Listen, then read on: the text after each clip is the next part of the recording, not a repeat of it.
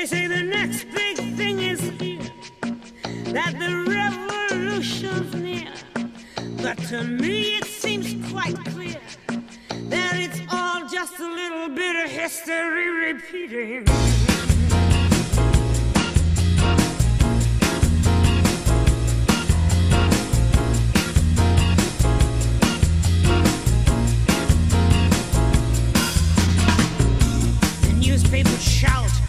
you style.